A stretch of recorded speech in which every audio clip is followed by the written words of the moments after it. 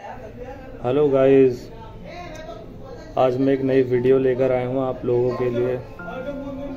वरना की company fitted वाले एलोई व्हील्स हैं ये। ये पहले मॉडल में इसी तरह का अलाई व्हील आता था सिल्वर कलर का।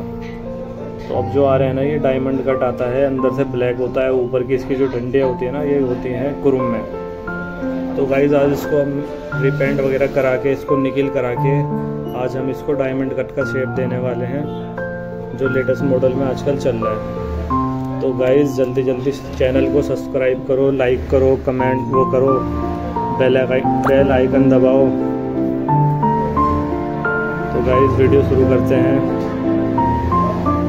अभी व्हील मैंने खुलवा दिए हैं। ये बंदा निकिल के लिए लेकर जाएगा, जो हमारी शॉप पे यहाँ निकिल हम कराते नहीं है, ये कारखाने में होती है। तो ये बंदा लेकर जाएगा निकिल के लिए अलाई व्हीलों को।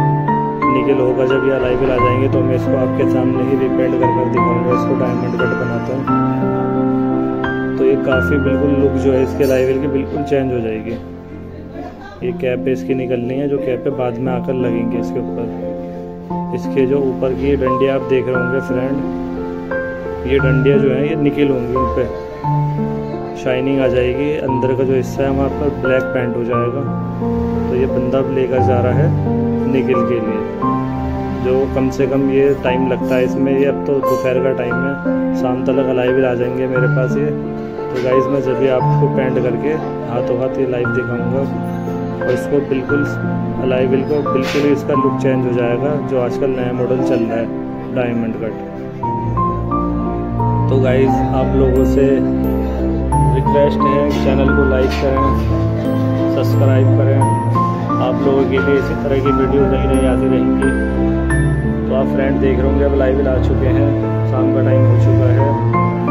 और ये टायर चढ़वा रहा हूँ मैं इसके ऊपर। योकामा कंपनी का टायर आता है। ये अपने पास ओनली 10 परसेंट यूज़ टायर होता है ये। मुश्किल से मुश्किल 10-15 परसेंट चला हुआ होता है। तो गाइस इसमें पेंचर एक भी नहीं होता। टायर के अंदर बिल्कुल फ्रेश टायर होते हैं ये। तो ये चारों टायर देख रहे होंगे आप। मैं इस पर फिट करा रहा हूँ मशीन पे। और अलाइविल की आप डंडियाँ देख रहे होंगे, जो ऊपर की डंडियाँ है, ये चेंज हो चुकी हैं, क्योंकि मैंने इस पर निकल करवा दिया था। बस इस पर पेंट होना बाकी है। तो ये टायर फिट होने के बाद ये हवा भर जाए इसके अंदर, उसके बाद हम पेंट का काम चालू करते हैं। तो फ्रेंड देख रहे होंगे आप पेंट हो चुका है, एक अलाई व्हील पे, दूसरे पे भी हो चुका है। तो ये धीरे धीरे करके चारों पे पेंट हो रहा है। होने के बाद इसकी डंडियाँ साफ़ करानी है। ऊपर का हिस्सा इसका जो है ये थिनर से साफ़ कराकर, इसको मैं भी क्रोम कराकर दिखाता हूँ आपको।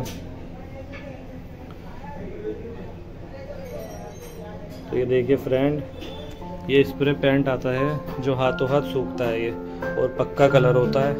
तो हम अलाई व्हीलों पे यही कलर यूज़ करते हैं, क्योंकि इसमें शाइनिंग भी अच्छी आ जाती है, और जल्दी सूख जाता है। इसमें पेंट्रो का झंझट ही खत्म है, जो पेंट्रो के पास हम अलाई व्हीलों को छोड़ते थे।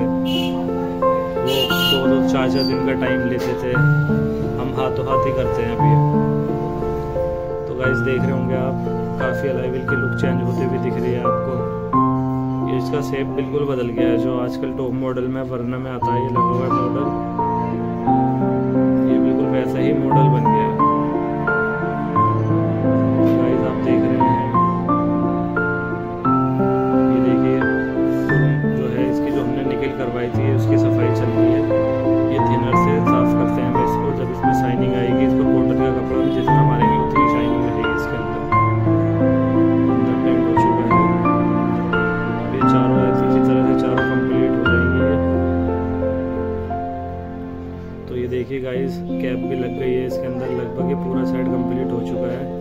टायरों पे भी पॉलिश लगना बाकी रह गई थी, वो गेयर मैं भी दिखा नहीं पाऊँगा आपको।